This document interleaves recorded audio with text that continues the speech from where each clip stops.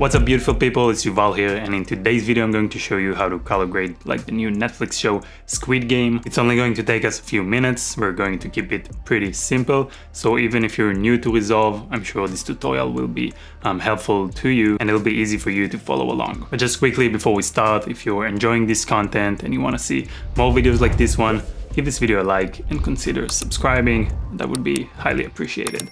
Uh, but now let's get going. Okay, so this is the shot that we're going to color grade.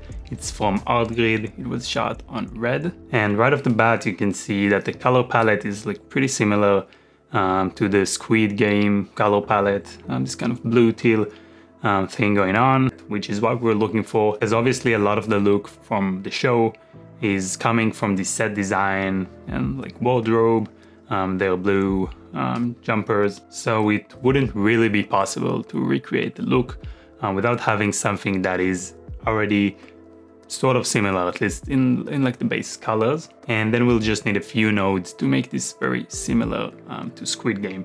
So this is my reference. This is the kind of look I'm going to try and recreate. And if, if I just do like Rec 709 um, conversion here, for, for our footage. You can see it doesn't really match up. So we're just going to make a few adjustments and um, within no time, we're going to get pretty close to the reference. So let's get going. So let's quickly analyze what is going on um, in this image from Squid Game. If we look at the vector scope, we can see that there's like pretty much only two colors here, and that's the teal blue um, jumpers. And then we have complementary to that, just on the other side of the vector scope, we have her skin, which is sitting pretty close to the skin tone line, which makes sense and that creates this beautiful contrast because these are complementary colors. Still an orange. What we're also going to look at is the waveform and we're just going to try and see where things um, sit. Um, we can see a pretty balanced image, maybe like there's a lot of shadows obviously, um, so we're, we're, just going to keep that in mind and try to match our image to that. So this is the Rec 709 conversion and I wanna reset that and just walk off of the original log format that we have because I'm going to take a little bit of a different approach. So first off, we're going to call this one base. Then we're going to make a new node using Option S or Alt S if you're on Windows. And instead of doing the Rec 709 conversion here, which is my usual workflow, um, what I found that actually works here is applying a film print emulation LUT. Now the show wasn't filmed on actual film, so we're not really trying to recreate um, like a 16 millimeter or 35 millimeter film look, but just using these LUTs helps you sometimes get a fast um, sort of global look to just walk off. So I'm going to go into LUTs here and there's a bunch of free film look LUTs um, that comes with Resolve, so you all should have it. It's right here, film looks, and I'm going to use the Kodak 2383D60. I'm gonna double tap. And right off the bat, this looks very dark. Um, it's not really what we want. Um, so what we're going to do is just create a new node. And this one we're going to call FPE. And this new one is going to be um, exposure. And now I want to pull up my reference. So I'm going to use curves for this and I'm going to just start pulling this up.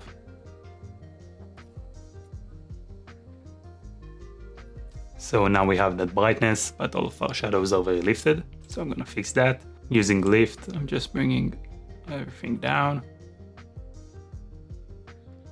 And I just wanna keep playing with the offset um, and the lift to just get to that right position. You can also go into contrast and try to match that.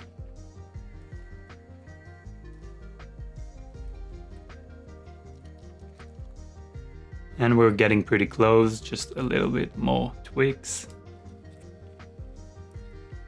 So something like that looks okay. Then we're going to go back into the base node and I just wanna tweak the white balance a little bit because our reference image is more warm um, than what we currently have. So I'm going to go into my temp and try to match that. Okay, that's already doing quite a lot. Then play around with the tint a little bit. So we're getting pretty close here, as you can see. Now I'm not really looking at his skin because we're going to fix that um, in a different node. So I'm just trying to match like the overall um, colors and tones. And I think uh, it's pretty good. And you can see things are looking a bit weird um, over there. That's because I uh, messed around with the midtones. So I'm going to kind of undo that.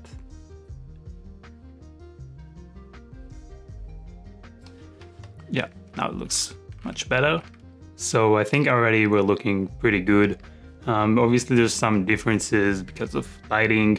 Um, the lighting is completely different. On the reference image, the light is coming uh, from above and you can see how the two sides of her face are pretty are pretty much the same in terms of the brightness. It's a little bit more bright on that side, like on, on the right side of the frame. Um, but generally speaking, it's like pretty soft and even.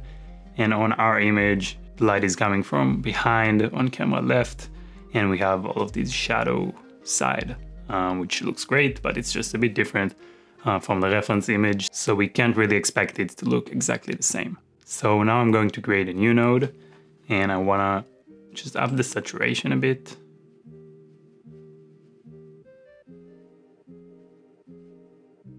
Somewhere around there. And on this node, I also want to lower the highlights a bit. And I'm mainly looking at the right window over there. Uh, it's not a window, actually, it's like a whiteboard.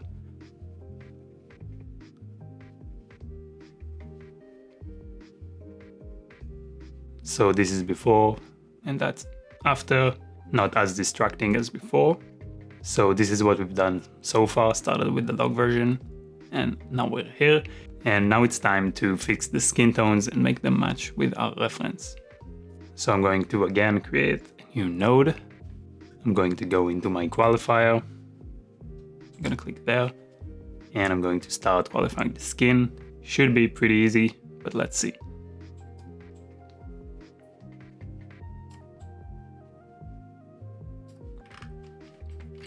So I don't really care that I'm getting all of this stuff there in the background because we're going to create a window. Um, but I do want to get a separation like over there. So let's tweak things a little bit more.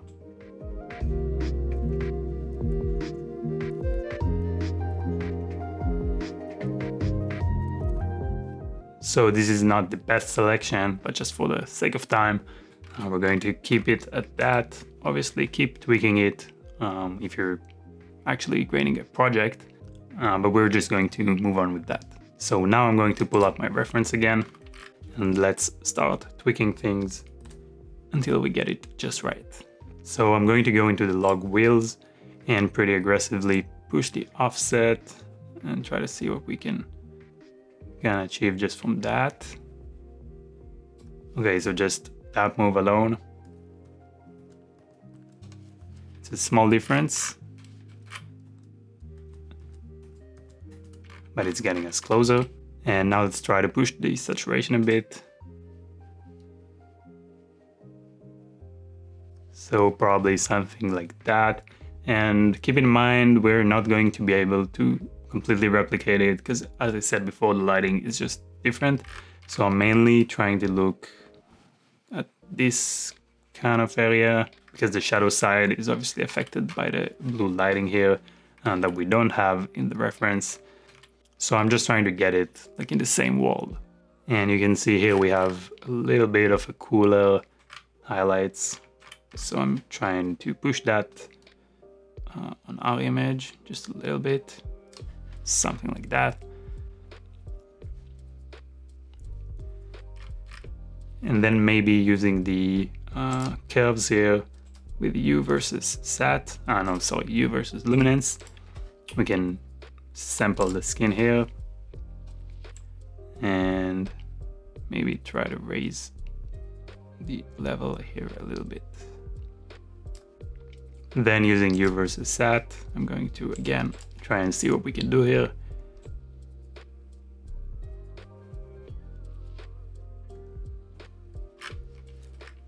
So this is what we have so far. This is before, that's after.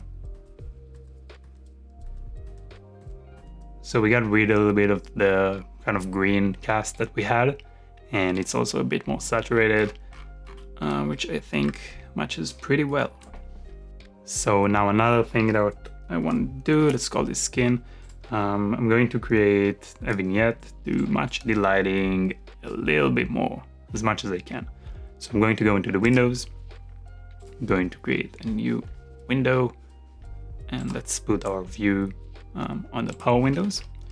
I'm going to create this window around my subject and I'm going to click here to invert the mask because what I'm going to do now is using the curves. I'm going to darken it. So now it's basically darkening everything that is outside my window.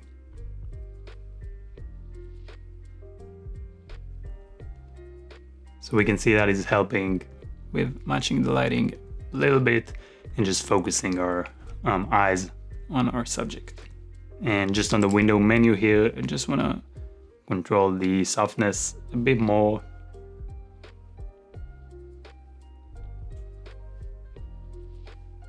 Maybe something like that looks pretty good.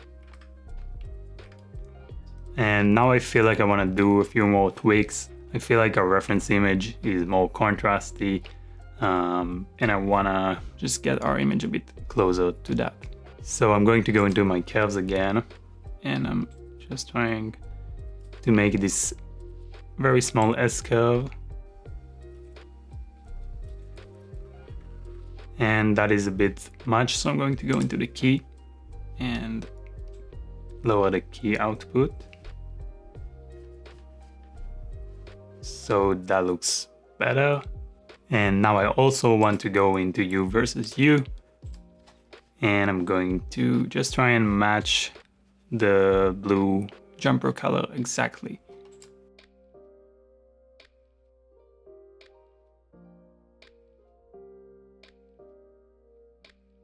So now another critical thing and maybe the last thing we're going to do and it's going to be a big one and this is going to be relevant to pretty much anything you color grade. We're going to clean the blacks. If I look at my darker areas over there, um, you can see that it just has like that green cast. It's, it's pretty ugly and it's throwing like the whole look off. So first off, I'm going to get my shadows lower, crush them a bit, maybe something like that. And now I'm going to go into my shadows and I'm on the log wheels, not the primaries. Um, so I'm going to push this in the opposite direction from the color cast that we have. And if we are not really sure what that is, we're just going to play around until uh, things just look right. And now if we pull up our reference, um, problem now is that we kind of shifted the colors too much because we've added all of that um, magenta there in the shadows and it's affecting too much of the image. So what I want to do is go into the low range over here and if I lower this like to zero then um, what I did is not affecting any of the shadows and as I'm raising this up you can see it's starting to affect more and more of the image so I'm going to try and find a nice balance there so something like that I think looks pretty good and now I want to lower the shadows even a bit more. Um, so we can use the node prior to that node because on this node we did uh, the color of the shadows and uh, we crushed them on the same node. So, so now I just want to lower the shadows. I'm not trying to affect the color. So we're going to do that on this node.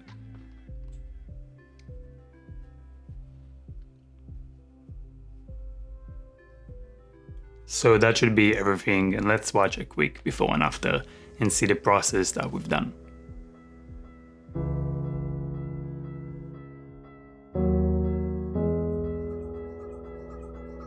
So that is all for today's video. Hopefully it was helpful to you guys. Hopefully you enjoyed it. If you did, please give this video a like and also consider subscribing for more of these videos and just to help me keep this channel alive, keep the content coming. I'm trying to upload weekly now, so um, I'd highly appreciate that. But that is all for today. Thank you for watching this video, um, and I'm gonna see all of you, hopefully, in the next one.